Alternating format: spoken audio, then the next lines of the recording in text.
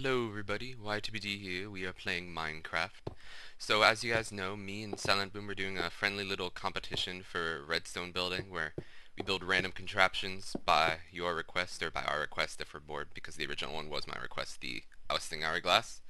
So the one that I selected to do was Doors Galore and uh, I think you can see the around half of it somewhere over there that long stretch of building in the distance. That's the beginning of Doors Galore. But I decided to upload this little video as a little sidetrack because, uh, as you know, uh, Silent Boom uploaded two versions of the Ousting Hourglass because he was challenged by uh, the CSDD team to make a better one, and it seems that he succeeded in that point. And so in that video, they gave us a mini challenge to make an elevator using gravel, using the same uh, design. Well, I, for the life of me, could not figure out how to make it using gravel. But remembering an interesting property of a block introduced in 1.8, that I read about on the Minecraft forums, I decided to make this elevator. So here's the same piston clock that Silent Boom had. I'm just going to place a piece of glowstone right here. This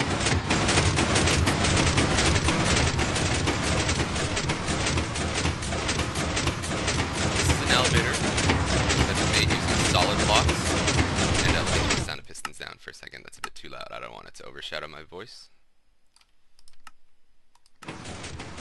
A piston elevator using solid blocks. I use glowstone and fence gates. So I wait for a block to come up like, oh, a bit too late. Here we go. Brings me up. Step out.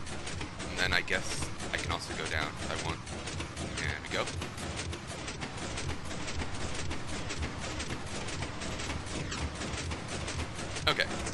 So the reason this works is because fence gates have an interesting property.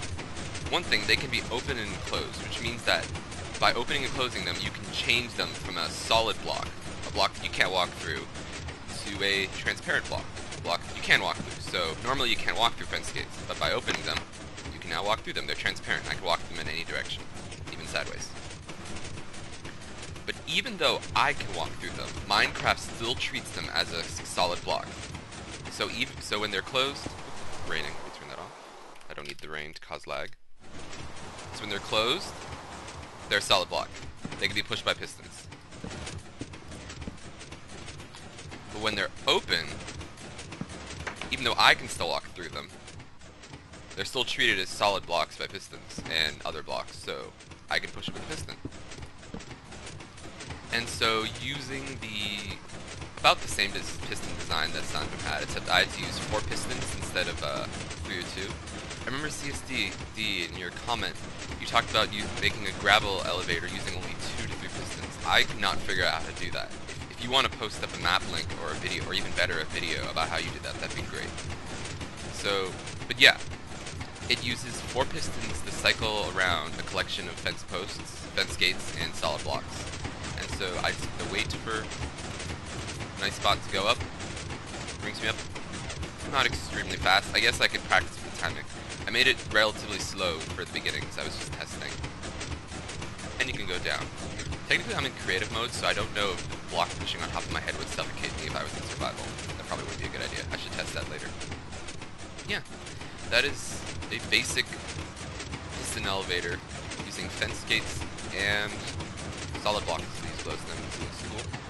I guess technically if I wasn't lazy, I'd make like an XOR gate so that I have a lever down here and a lever up there that could open and close it.